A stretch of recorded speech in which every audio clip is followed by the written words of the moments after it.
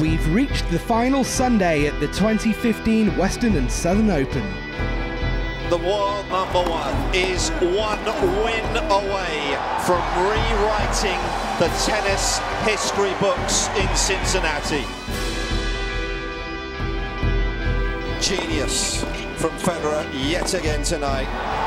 Federer remains on course for number seven in Cincinnati.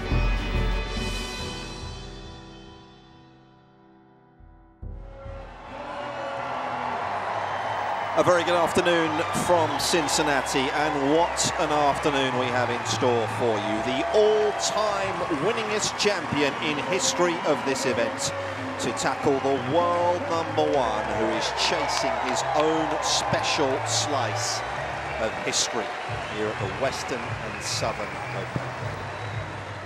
In the 41st meeting of Novak Djokovic and Roger Federer, with the head-to-head -head at 20 apiece, the scoreline was going to form yet it was still Federer with the better of the early plays. Oosh! Mind-boggling stuff. With the set still on serve, Djokovic was beginning to find a way through Federer's aggressive net play. Oh, how good was the lob. The opener went to a tiebreak and the points were becoming indicative of a match of such fine margins.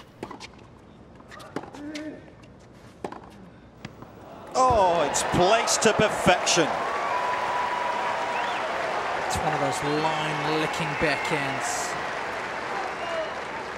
But Federer was beginning to run away with the breaker and by taking the set had one hand on his seventh Cincinnati trophy.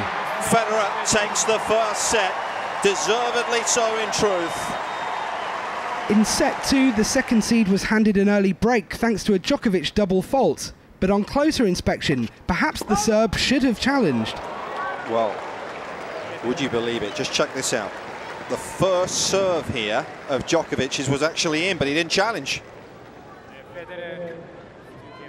Despite being behind, Djokovic was still hanging in there, saving more break points to keep Federer within touching distance.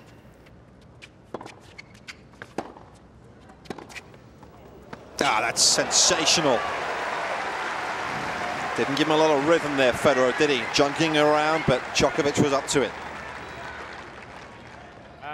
But all the Swiss maestro needed was to remain firm on his serve, and he was doing just that.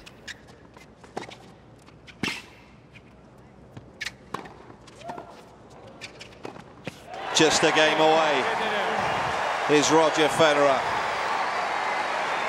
Another hold, and it was crunch time for Federer.